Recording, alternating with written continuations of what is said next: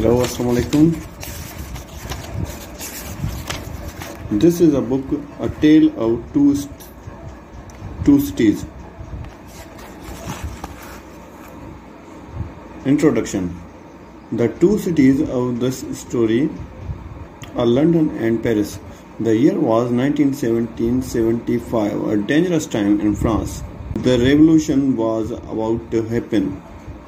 Both the country and its people are going to change a great deal. Here are some of the people in the story. Lucy, Lucy's father, Charles Darnay, Sydney Carton, Madame Defarge.